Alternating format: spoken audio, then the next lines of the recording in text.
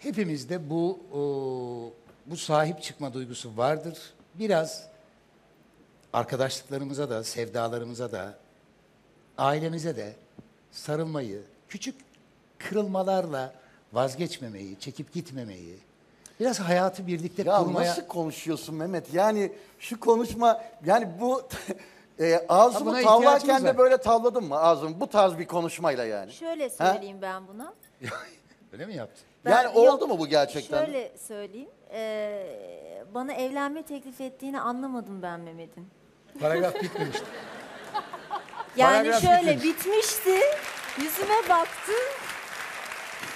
Bir dakika. Evlenme teklif etti yani bir yemekte falan bir yerde mi? Nerede? Değildi yani Matrak, matrak bir yerdi. e, piknik yapmıştık. Ay lütfen Piknik anlatın, yaptınız. çok tatlı. Anlat hayatım vallahi güzel. E bakayım ben de oradan bir yol bakalım. Sepet hazırladı. Pikniğin Piknik sepeti Piknik hazırlamış. sepeti. Az değilsin Mehmet. Vallahi billahi. Ben değil o hazırladı. Ha çünkü sen hayatta piknik sepeti hazırlayacak bir şey durum yok sende yani. Çiçekli, böcekli. Çiçekli. Ne oldu sonra? Piknik sepeti hazırlandı. Ee, ve o piknik sonrasında dönüş yolunda arabada Mehmet başladı araba şeyler kullanırken anlatmaya başladı. Artık neredeyse de vardık yani. Ama seni Geldik. anlayabildiğin için Melal miydi bunlar? Değildi işte. Yani ben zaten o zaman 22 Babası. yaşındaydım. Ben şimdi anlıyorum. Kaç Ama yaşındaydın? yani sen kaç? kaç? 22. 22. Sen 34. 33. 33. Baba ne güzel taktik ya. Ben Anlamadan bıraktım. değil mi Ben böyle bıraktım, yani? Ya tabii bir aşk saat olsun. sonra kıza derdimi anlatamadım galiba dedim. Çünkü ben öyle bir baktım ki gerçekten. Sen sonunda evet mi dedin? Yani anlamadığın için mi evet dedin? Ya niye evet? Çok zor. bir şey oluyor, bir şey söylüyor. Evet diyelim bari de hani ayıp da olmasın diye. İşte soru gibi değildi. Sorun orada. Yani başladı anlatmaya böyle yumuşak yumuşak. Ben de dinliyorum. Benim de evlenir misin ne kadar katır kutur bir şey ya. Ben ne yaptım biliyor musunuz? ya özür dileyerek. Kimseyi de oynatamadım. Yani karşıdaki nasıl oynar bilemediğim için. Mehmet'i de ben oynadım. Arzum'u da ben oynadım.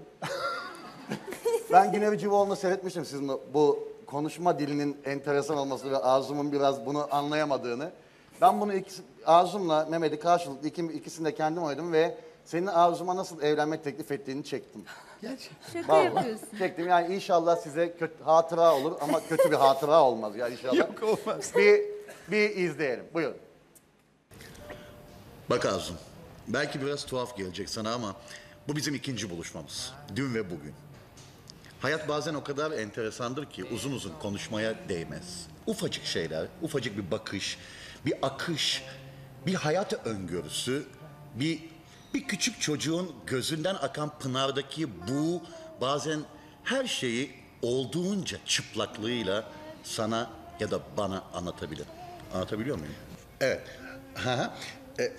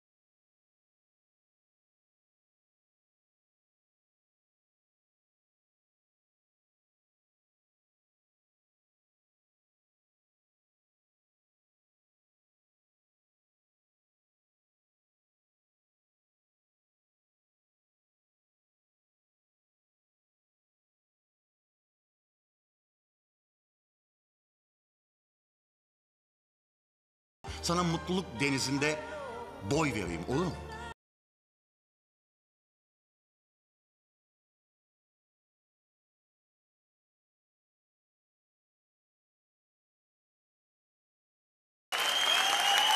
Ya ne ne diyeyim ya?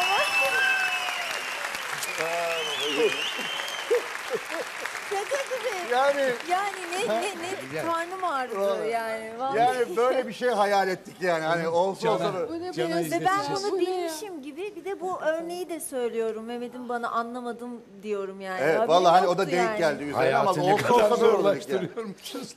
Gözümden yaş geldi. Benim de ya çok iyiydi gerçekten. Ama bu böyle yani yani. bu hayattaki edimsellik sen olma değil Arzu. belki ben de değil. Biz de değil belki. Kim Arzum? Kim yani böyle cümlenin sonu da gelmiyor yani.